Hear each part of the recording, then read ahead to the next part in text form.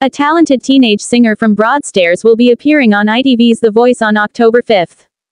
Olivia Rogers, 18, impressed show organizers to make it through to live auditions with the hope of making one or more of the judges turn their chair for her. The latest series of The Voice began airing on August 31st and features Will.i.am, Sir Tom Jones, host Emma Willis and new judges LeAnn Rimes and McFly's Tom Fletcher and Danny Jones sharing a chair.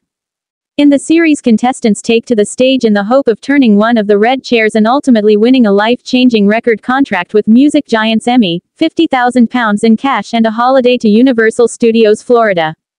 Filming for the nine-part series took place throughout late February.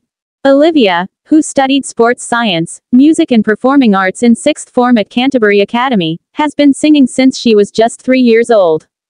As well as treading the boards locally with Regency Productions, she has performed in the Michael Jackson tribute tour and been on stage at venues including the London Palladium, Manchester, Liverpool and Nottingham arenas and last year was on tour in Sweden.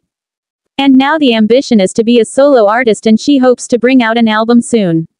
She said, I came off tour to focus more as a solo artist instead of a backing singer. My mum applied for me to be on The Voice, I didn't know about it. I got a call and did a few auditions and then found out I had got through to the live shows. It is like a dream come true. I watched The Voice when I was growing up. Olivia says getting on the show would have made her dad Justin incredibly proud.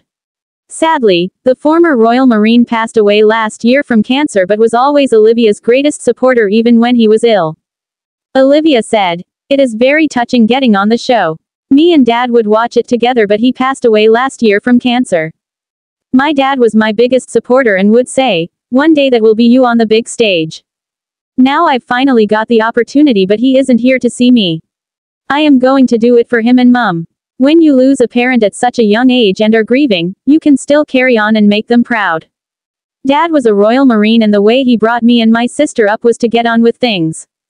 His saying was, train hard and fight easy, and that is something I have always stuck by. Instead of going out partying, I would stay home and write music and teach myself the guitar and piano. Olivia, who also writes songs, said, I like all music, pop and soul and sometimes I sing country. She says she is excited for people to see her on The Voice, adding, with The Voice you have the four chairs and the judges listen to your voice before they know anything about you. They turn if they have a connection with your voice and I want to be known for my singing, not my background.